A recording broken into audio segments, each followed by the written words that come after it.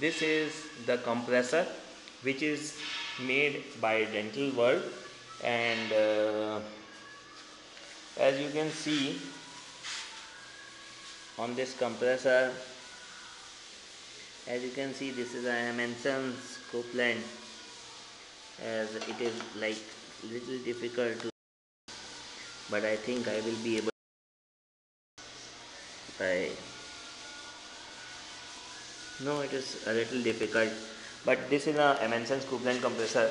And uh, this compressor this is a it is a 0.75 HP uh, having a copper winding. It is a very good compressor. I can show you the working of the compressor. This knob this one as you can see there is lot of pressure and uh, this is the watch.